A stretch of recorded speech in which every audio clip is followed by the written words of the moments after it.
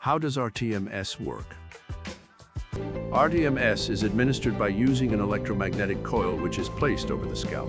This coil then emits strong pulsed magnetic fields which freely pass through the skull and enter the brain, creating a perpendicular electric field which then modulates the neurons.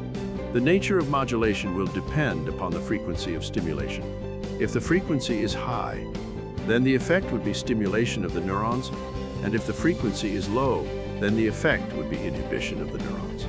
Due to an advancement in technologies, neuroimaging AI and data analytics, we have a much better understanding of the neurobiological basis of various neuropsychiatric disorders. We are aware as to which pathway is hyperactive in a particular disorder or hypoactive in a particular disorder. So we can either stimulate hypoactive neuronal network or inhibit another hyperactive neuronal network, thereby bringing about the therapeutic change. This therapeutic change equals a neuroplastic effect. RTMS has been rigorously tested under strict research methodologies, and out of all the neuromodulation techniques currently, the maximum evidence lies for RTMS.